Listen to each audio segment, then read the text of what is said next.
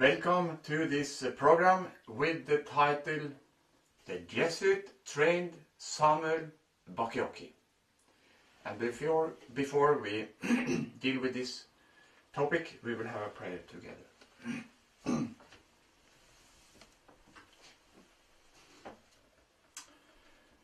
Dear Heavenly Father, we understand that from Revelation 12 17 that it is a war going on and it is the devil that is standing behind this war to try to um, to get rid of the people that will keep your commandments and have the testimony of Jesus Christ. And uh, we know uh, the Bible is also telling about wolves that is coming into the shepherd among the sh- uh, sheep. And we um, pray that you must uh, let us understand what is really going on so we not are being deceived. We pray for this in jesus name. Amen.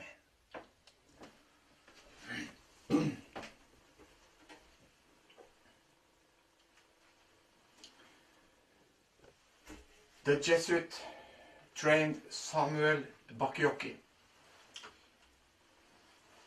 Samuel Bacchiocchi is the first Adventist to graduate from the Jesuit Pontifical Gregorian University. The Gregorian University, formerly the Collegio Romano, was created in 1551 by Saint Ignatius of Loyola, founder of the Jesuits and it is the first school established by the Jesuits in Rome. And here on this picture you see Samuel Bacchiocchi wears a robe of the Jesuits. He has finished his education and he is clothed himself with this robe of the Jesuits.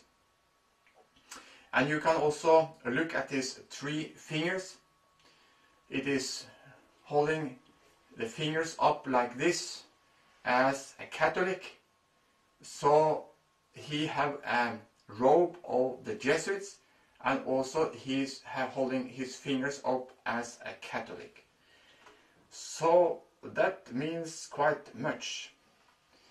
It is also interesting that um, ex-Jesuit Alberto Rivera admits on film that Samuel Bacchiocchi was in fact a Jesuit working for Rome to infiltrate the Seventh-day Adventist Church. And this Alberto Rivera, you can look on internet, you can uh, look, he has many, uh, he was a Jesuit, but he went out from the Jesuits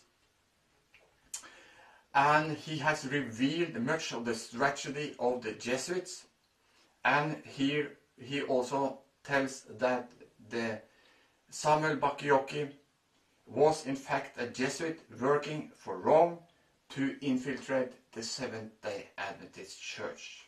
It is very interesting from this Jesuit to know this. And then we go to the uh, book of, that Samuel Bacchiocchi wrote from Sabbath to Sunday. And uh, this was done in this uh, Jesuit university, Gregorian University. And uh, you, on this picture, you will see the imprimatur of the Catholic Church, or the Vatican. That means that they, the Vatican, they accept this book as their book. They can use this book in their teachings. And how can this be that the Vatican can use this book and think that this is okay. This message is okay. And in the same way, how can the Seventh-day Adventists use this book as their book and have their imprimatur in this book? We are not Catholics.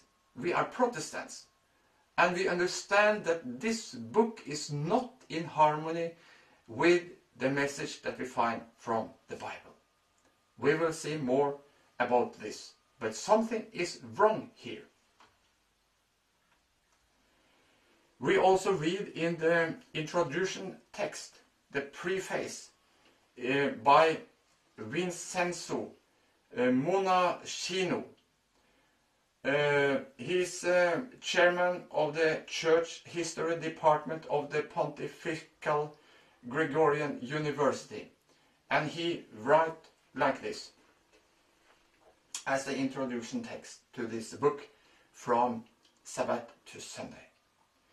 The strict scientific orientation of the work does not prevent the author from revealing his profound religious and ecumenic concern. Conscious that the history of salvation knows not fractures but continuity, he finds in the rediscovery of the religious values of the biblical Sabbath a help to restore to the Lord's Day its ancient sacred character.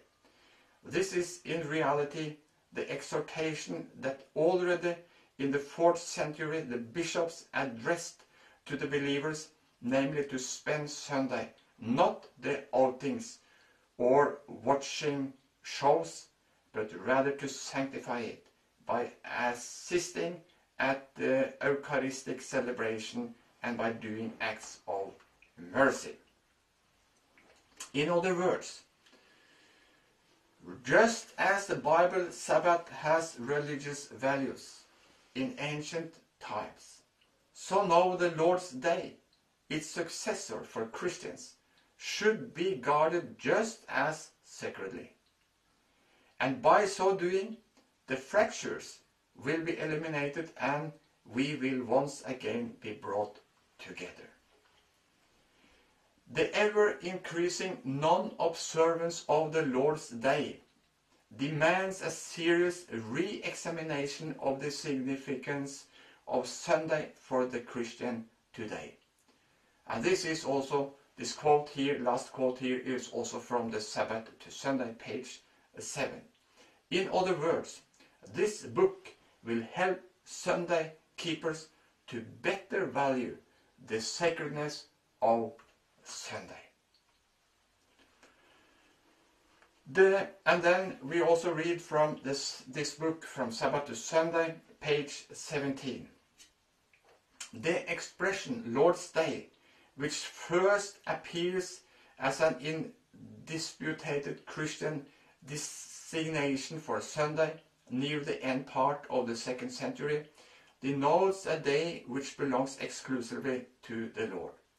Since Sunday has been traditionally viewed by many Christians as a day of which Christ is Lord and which is consecrated to Him, we may well begin our historical inquiry into the or origin of Sunday observance by ascertaining uh, if Christ anticipated the institution of a new day of worship dedicated exclusively to him.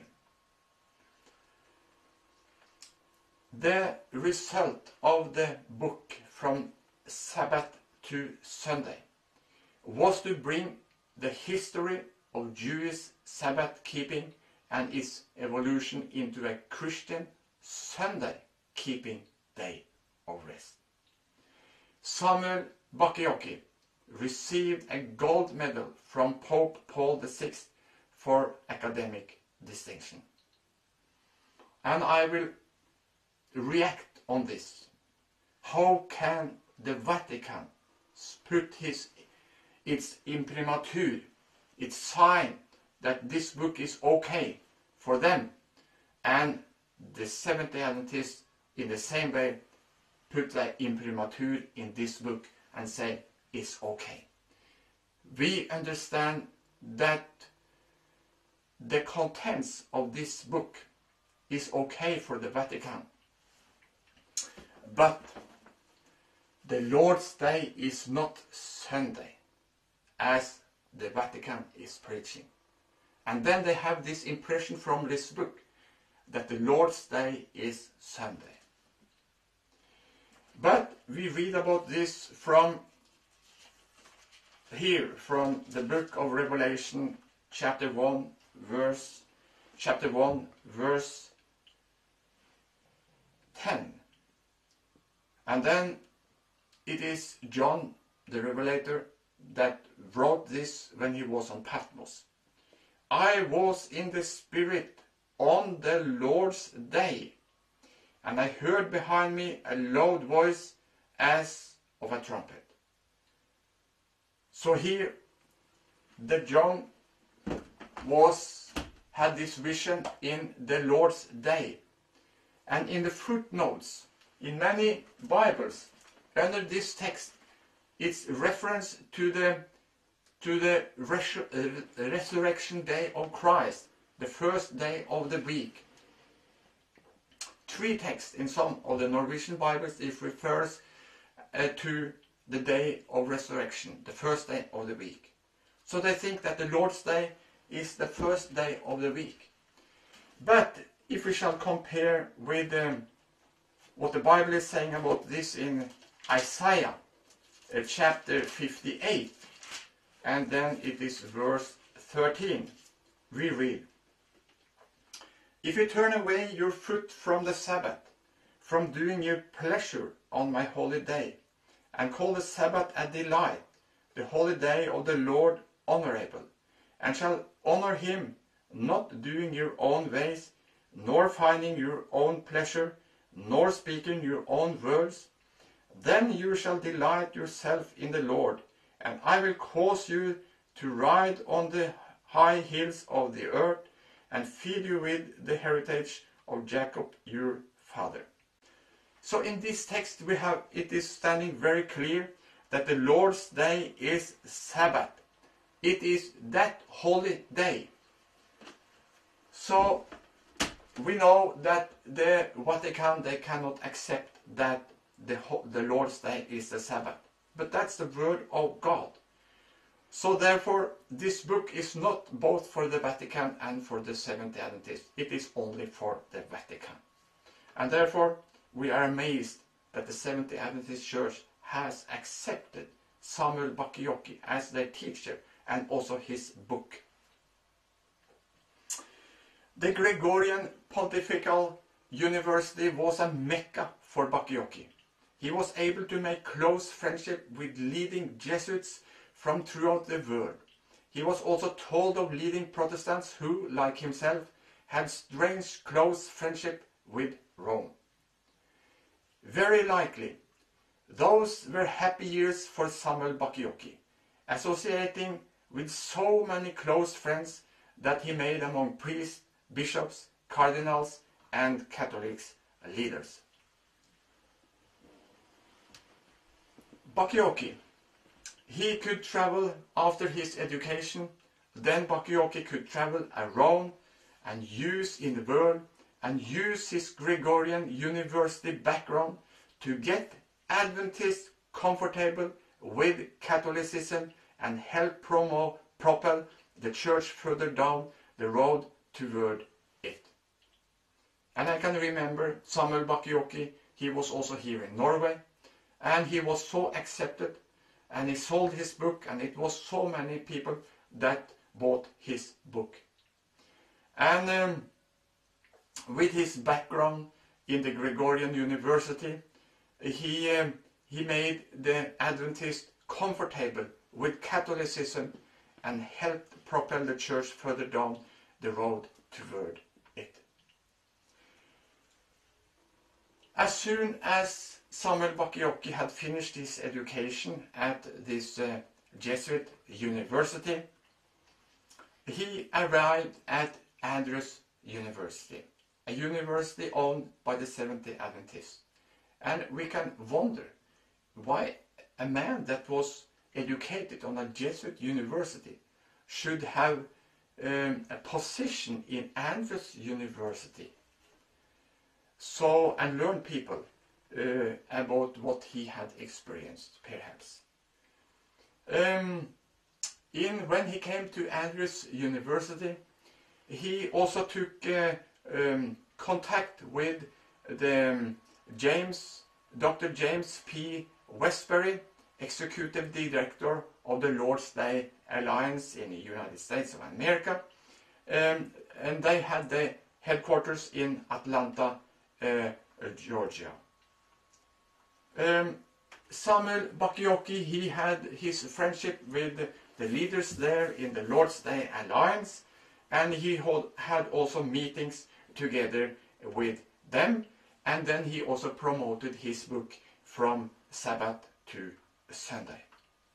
And the Seventh-day Adventist leaders, many, they said, oh, how wonderful uh, that um, is bringing um, the other churches to the importance of the Bible Sabbath.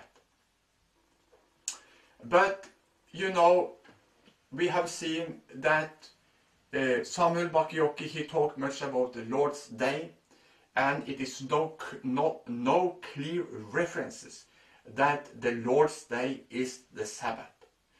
The people get the impression that the Lord's Day is the Sunday because the history has shown that they have changed from Sabbath to Sunday. And he sold this book from Sabbath to Sunday that have the imprimatur of the Vatican and which promote the Sunday as the Lord's Day. That's how I understand this book. So here is Samuel Bacchiocchi traveling around America with a brilliant gold image of the sun god on his chest, urging people to keep holy the Lord's day. And if he had in this book and is in, in his preaching uh, quoted among others, this text from Isaiah, chapter 58, 13. Among others, we have you, he could also have used the text from Mark uh, 2, 27 and 28. And also in the Sabbath commandment, we see that the Sabbath is the Lord's day. It's the day of the Lord. But he does not very clearly come forward with this information and therefore the people are confused. Therefore the Vatican have, have accepted his teaching because his teaching is in harmony with their teaching. It's therefore they have the imprimatur in this book. It is also interesting that um, um, as long as Ellen White, one of the founders of the Seventh-day Adventist Church, as long as she lived. God helped her to see and understand that some infiltrators from the seventh, from the from the Vatican, from the Catholic Church, they tried to infiltrate the Seventh-day Adventist Church and some of their colleges. But Ellen White, she warned the leaders that they, they should not accept these infiltrators. And no one came into our colleges as long as she lived. So when she died, and this is about 100 years ago, so during these 100 years, you must understand that the Catholic Church has tried many times to come into our colleges and come into our institutions and have position in the Seventh-day Adventist Church and they have managed to do this for a long time. It is, the Seventh-day Adventist Church is infiltrated by Catholics on high levels in different positions.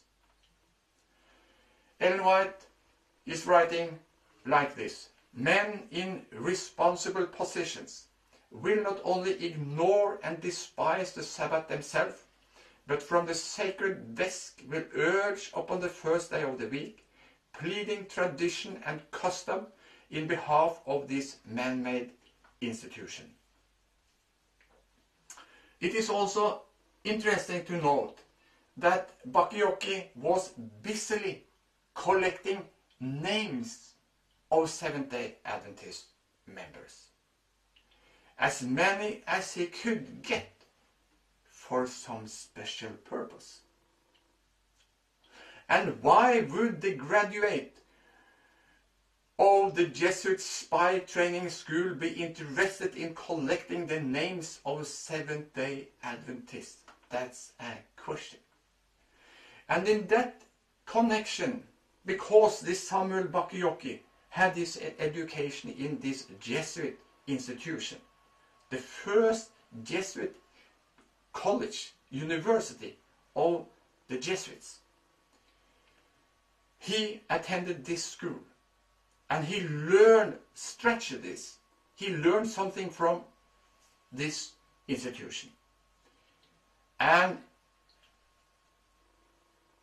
he was the first Jesuit trained Seventh day Adventist. And in this connection, because he collected so much information, he collected so much names, we wonder why he did this. And in this connection, I will read from the Jesuit oath. I do not want to judge Samuel Bacchiocchi, but I think that we have to examine. We shall be on guard. We shall watch out for what is coming, because we can also be deceived. Jesus, Jesus he warned his disciples that they should not be deceived. They should be on guard. And therefore we read about this from the Jesuit uh, oath of the Jesuits. You have been told your duty as a spy to gather all statistics, facts and information in your power from every source. To in, ingratitude yourself into the confidence of the family circle of Protestants and heretics of every class and character, as well as that of the merchants, the bankers, and the lawyer. Among the schools and universities, in parliaments and leg legislatures, and in the jury judiciaries of the councils of state, and to be all things to all men for the Pope's sake, whose servants we are unto death. Here in this oath of the Jesuits, we read that they will try to gather all statistics and information just to give it to the papacy so they know how they shall infiltrate this institution and also they know more about the institution or, and also the people inside the institutions. And they will try to infiltrate the universities and the schools and all levels of the Protestant churches. This is not only what is what they aim to do within the Seventh-day Adventist Church, but they want to infiltrate also Pentecostals, Lutherans, and all the other Protestant churches. Luther, no, Luther, it was Paul. He also wrote a little about what will happen uh, after his death in Acts chapter 20, verse 29. For I know this, that after my departing shall grievous wolves enter in among you, not sparing the flock. Also of your own selves shall men arise, speaking perverse things, to draw away disciples after them. So the Lord has shown Paul that something would happen in the church that men and women women will come into the church that had another aim. They are as wolves that will ruin the church and split up the church. And that's the that's the that's the way how the Catholic Church is working. They try to split the church and then they will come in and have position. It is wolves in sheep clothing today. And we have to be aware of this so we not are being deceived. We have referred a little to the text when the disciples asked Jesus, What will be the sign of your coming? Then Christ said to them, We read the text from Matthew 24, verse 3 and 4. Now, as he sat on the Mount of Olives, the disciples came to him privately, saying, Tell us, when will these things be? And what will be the sign of your coming and of the end of the age? Jesus answered and said to them, Take heed that no man deceive you. It is so, this is a warning to us in this last time of world history. Because especially the devil is working through his agencies to deceive the people of God. And we must, we must be aware of this because many is being deceived. We read about this also in Daniel chapter 11 that the king of the north will enter into the glorious land and many people will fall. And that is being, this is, we see that this prophecy is being fulfilled today. That the Catholic Church, they infiltrate God's people. They come into the ranks and many people will fall. They will be deceived. It is a fact that wolves has come into the sheep's flock, among the sheep. We are living in the last part of this world history. The prophecies are being fulfilled. And also this what Paul and Christ said that we should be on guard because wolves will come into the sheep, the flock, and many people will be deceived. May God help you and me so we not we are being deceived. We will end with a prayer.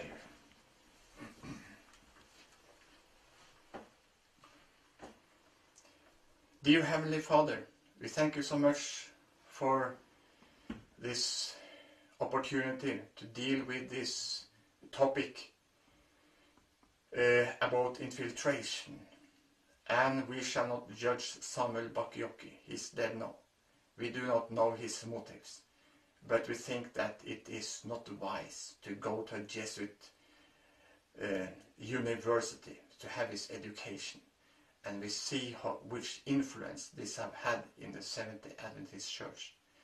We cannot, we understand that we cannot accept a book that both the Vatican and the Seventh-day Adventists accept.